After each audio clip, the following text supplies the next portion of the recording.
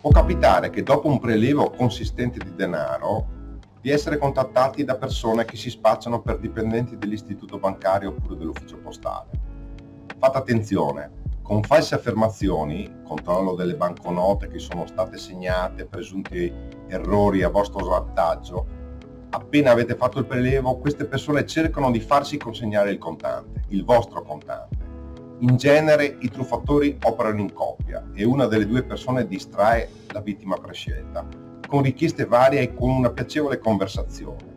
Le forze di polizia a competenza generale, polizia, arma dei carabinieri, guardia di finanza, ci indicano che nessuna banca manda i propri dipendenti a casa dei clienti per servizi di questo tipo. Anche noi della polizia locale contribuiamo a questo messaggio. Non fatevi truffare con i prelievi.